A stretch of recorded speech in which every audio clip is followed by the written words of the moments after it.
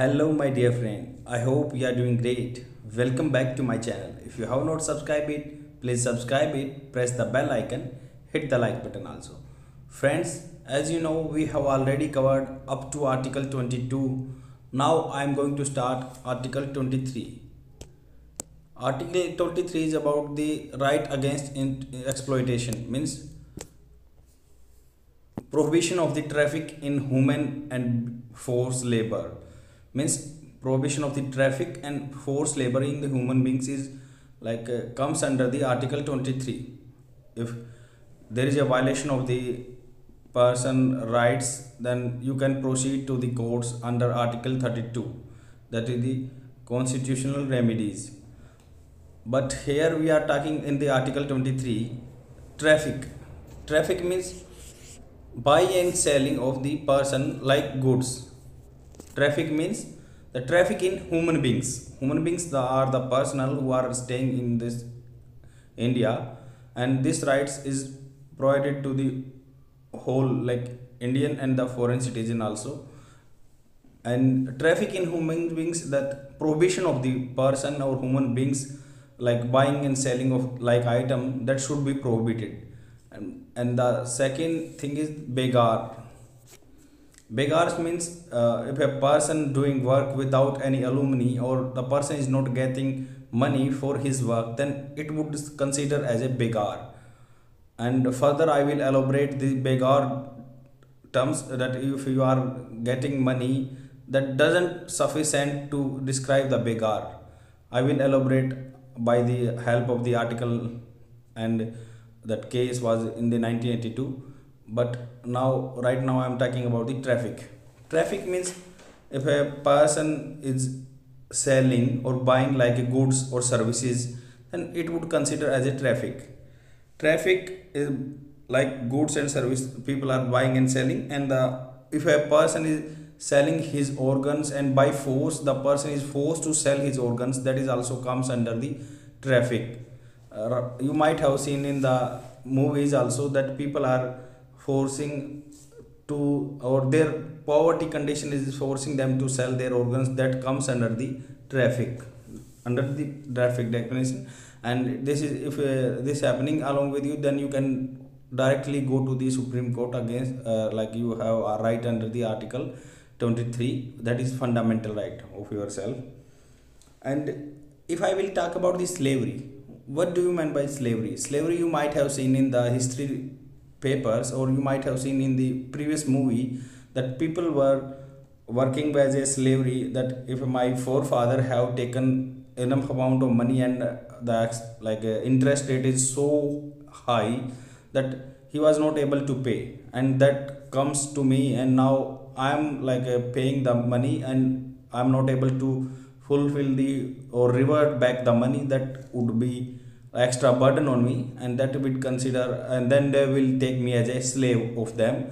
And i would work without money. That is called slavery.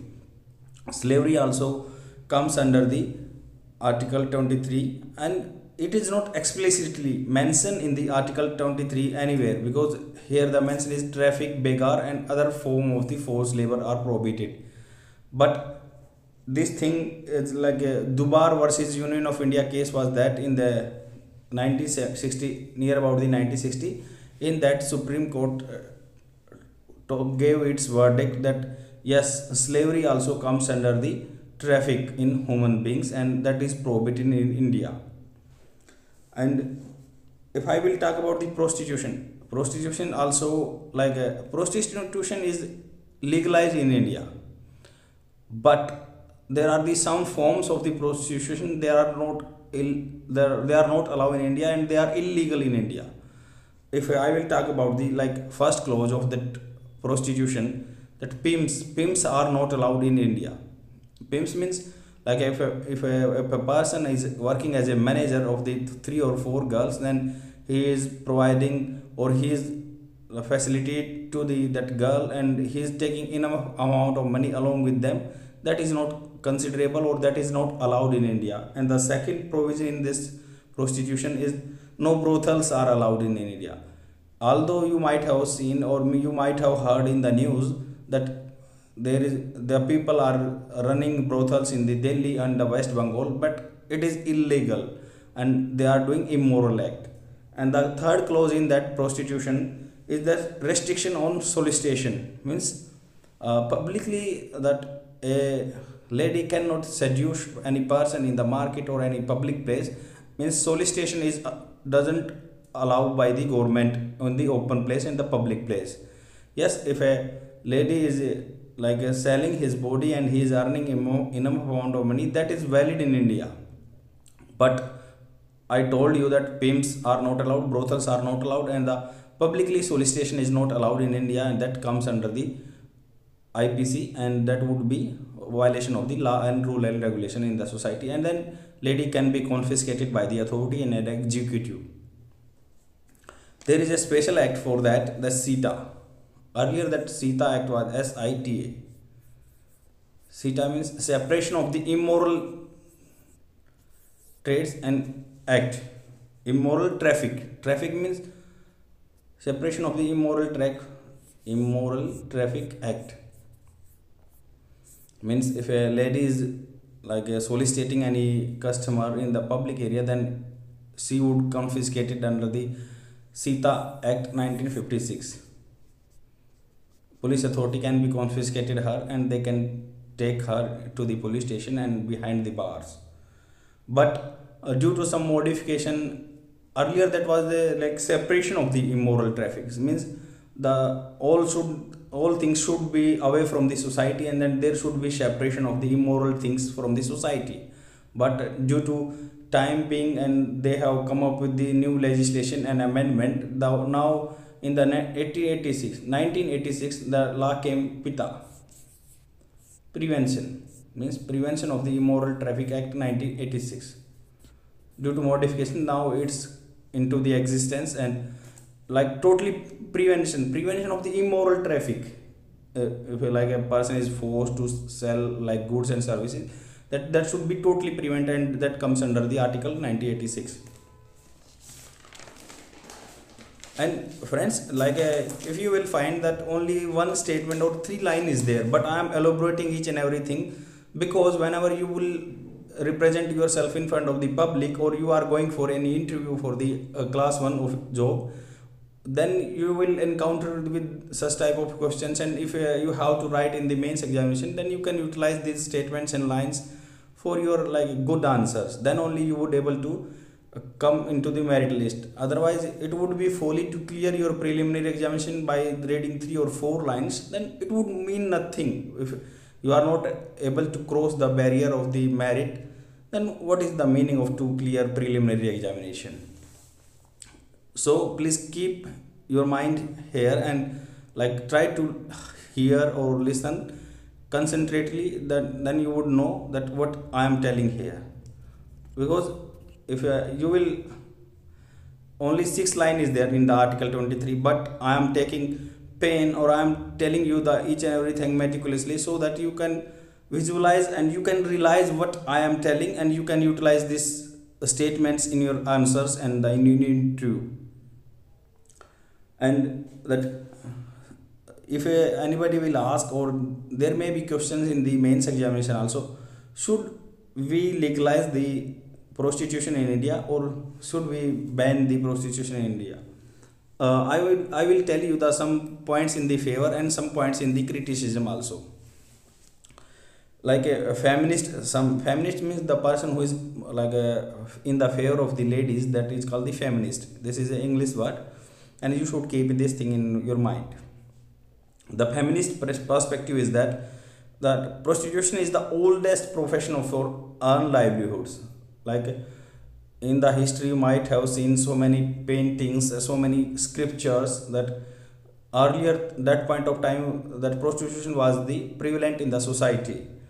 And the if a lady is earning money by getting or by selling his body then the state should not shall not interfere in the matter of that.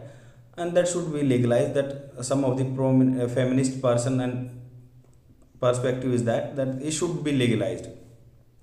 And it like uh, having uh, pro- any type of like profession it it's totally depends on the person psychology and he would take uh, state should not interfere in such type of things. And the second uh, like uh, point in the favor is that yes it's till the time our government or the state would not recognize prostitution as a legal profession then it would be come, come under the informal sector.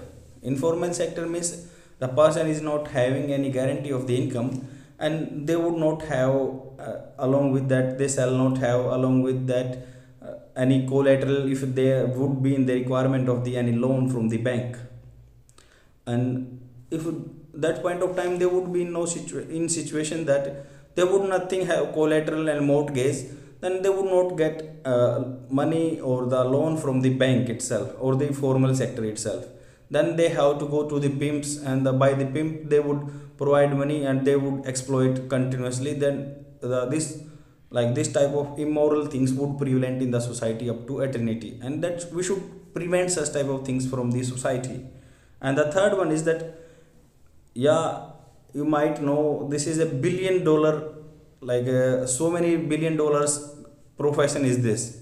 And uh, if state would recognize such type of things definitely state can impose any type of tax over it and that can be utilized for the better condition of the women in the society and the social security schemes can be uh, in the promulgation after acquiring such type of handsome money out of that prostitution legalized prostitution and the fourth one is that if I, I will take example of the Thailand. In the Thailand they, like uh, they have legalized the prostitution and people are like uh, free to do such type of things. And but there are the certain norms they have to follow. Like if a customer is going to the prostitution or the brothels then they have they have like some certain list. Means uh, within the six month the prostitute uh, they have to do undergo the medical process and they have get certificate and they should possess that type of certificate then only they would allow to do such type of activity. And if a person is going for that activity then he should take bath. There are the certain norms he should follow. Then only he would allow to do anything over there. And that same like condition for the ladies also. And that totally like legalized in the legalized form and they can utilize and they can have such type of business and they can have such type of ambit over there. This is the provision in the thailand. Yes india can do such type of things and uh, that std that sexual transmitted disease would not prevalent in the society. If uh, we are following the same pattern that we are providing the medical certificate to the prostitute and if a person is going to there and then he is taking precautions and like he is well aware the what type of disease he can acquire by doing such things. Then definitely we will minimize all the bad things from the society and we can legalize all the prostitution task. Even like uh, if we will legalize then definitely the uh, that apathy apathy means a person uh, the if, if i will talk about the policeman or executive some executive authority or the policeman they are like torturing that lady because they don't have knowledge about the rule and regulation over there. If a lady is doing such type of things then it would be legalized. And he, like she would aware about the his right her rights and she would retaliate retaliate against the like prosecution of the executive or the police authority.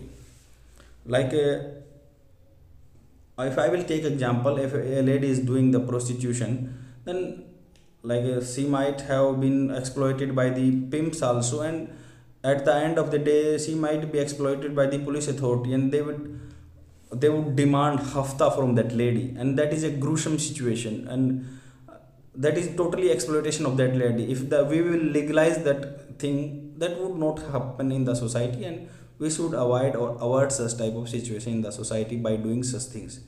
These are the like points in the favor of the prostitution legalization. And you can utilize these statements for your examination also. And you can if uh, any debate is going on then you can definitely talk with such type of points and you will get leverage over others. And uh, like uh, even if I will talk about the pimps, they are also exploiting the so many prostitution, so many cases are happening in the. They are not coming into lime, coming into the limelight because they don't have any like portal or they don't have any facility to file a, file FIR against them, and they have to survive with the minimal amount of lady and the grim situation of that lady. We cannot understand. That's why she has been in the prosecution since so much time and the pimps are exploiting them continuously. And even client also abusing her several times without use of contraceptive pills and all the contraceptive items. And if that would be legalized then we can avoid such type of situation. And if like a we will legalize all the things like uh, prostitution we would legalize then all things would be in the fair manner. And then uh, transparency transparency can be in the society and we could manage all the things. Now let's jump to the negative point or the point in the opposition of the legalization of the prostitution. The like uh, so many people are saying that and the like knowledgeable person are saying that if we would legalize the prostitution our that a criteria means we are living in the society and family is the important most important organ of the society.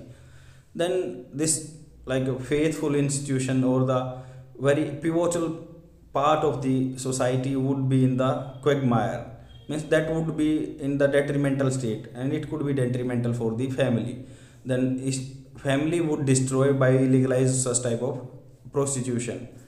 But uh, if i you will ask from me yes nowadays like uh, all all the institution brothels are the running and still that we are having family uh, institution in the society and people are living happily. But all the things are the illegal in the country. Still the, that are prevalent in the society and we should not go for this point.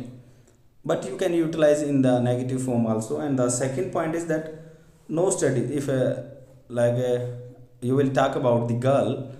If a girl is not having skills or she is not having knowledge about the education and all things then definitely she will she would divert towards such type of like legalized work. And that would be detrimental for the demographic dividend also because we are having where most of us our young generation and that would divert towards the, the quagmire and uh, definitely the lady would divert towards such type of legalized form of the work and uh, they would not enhance their skills and their education and definitely it would be harmful for the country in the future. That would be to- totally dependent uh, like population and demographic dividend would be there and we can uh, not we should in the future we would not take leverage of our demographic dividend. And the third point is that it by like adopting such type of practice the lady would be in the downside and that would be very not not a nice or healthy practice. Now let's jump to the begar i think i have totally covered the uh, traffic parts and now i am going to jump over the begar what is begar begar means forced labor plus no wages. Means if a person is forcing you to do any work kind of work and plus he or she is not providing no wages to you then it is called begar. But uh, i want to reiterate one famous case that was in the 1982 when like asian games happened or conducted in the india.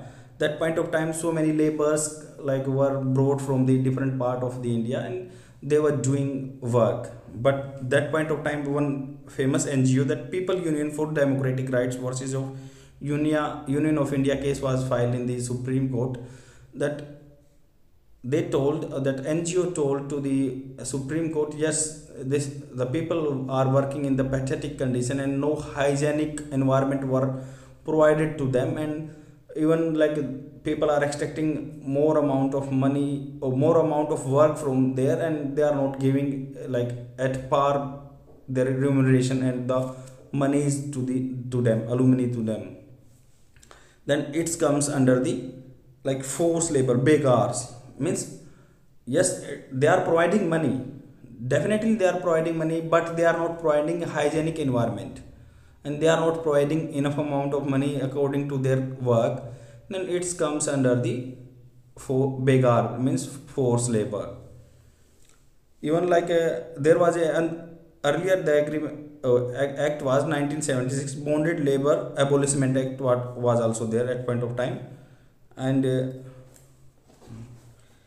like uh, i have already told but uh, some exception also this article 23 what are the exception? That that, that comes under the article close to that nothing in this article shall prevent the state from the imposing compulsory service for the public purpose. If uh, like uh, i will talk about the rigorous imprisonment. Before covering this public purpose point i want to tell you one other point also that if a person is serving any rigorous punishment by the supreme court provided awarded by the uh, supreme court any high court or any court of the country that it would not consider as a like begar and forced labor because according to the constitution they have provided them the rigorous punishment then they have to survive and they have to serve all the like recommendation or all the all the punishment awarded by the court. Then it would not provide any money for that. Maybe it can be or sometimes government or the, according to the punishment the government provide the money also for that work. Uh, that would not consider the forced labor. And the second one is that military purpose. If a, like a, if government is saying that any threat to the our country's security then definitely like our government would compulsory give compulsory like israel israel is having compulsory military service is there. And we can even india can impose such type of condition to the citizen of india. And the next one is that social service like public purpose. Social service means uh, tomorrow if there would be tsunami and or any national calamity committees then definitely that people around that area they would be provide service and no money would provide in that situation.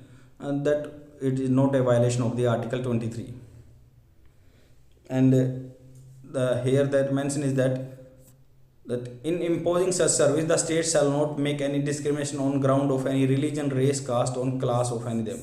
Like in the future if they will our state government or the our central government is imposing any responsibility on the citizen of india due to public purpose and the like national committees then it there should be no discrimination on the religion and caste basis. Yes. Religion race caste class cannot be like a way of the discrimination but the domicile can be way of the ground of the discrimination. Means like if uh, odisha people are having or suffering from the any cyclone and natural calamities then they would serve the area. And it is not like feasible to like bring people from the northeast or any part of the country. Uh, means discrimination can be on the basis of the domicile and other requirement but discrimination should not base the only only of the religion race caste and class of them. That is all about the article 23 and tomorrow i will come up the with the article 24 please subscribe my channel and share my video among your friends so that they can get benefit. Thanks for watching. Bye